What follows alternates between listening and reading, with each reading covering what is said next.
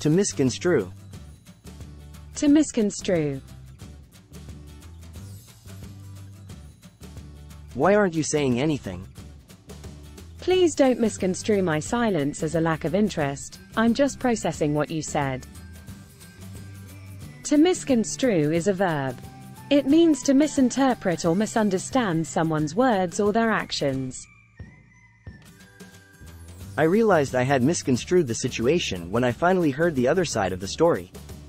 In this example, the speaker had misunderstood or misinterpreted the situation.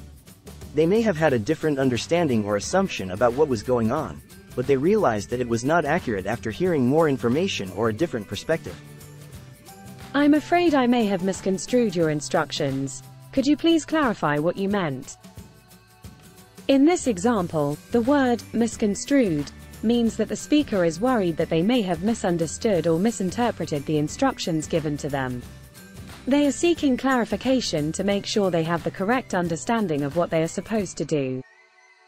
Some synonyms for misconstrue include to misunderstand, to misinterpret, and to misapprehend. And some opposites are to understand, to comprehend, and to grasp. To misconstrue. To misconstrue. Like this video, and subscribe to the channel to learn something new every day.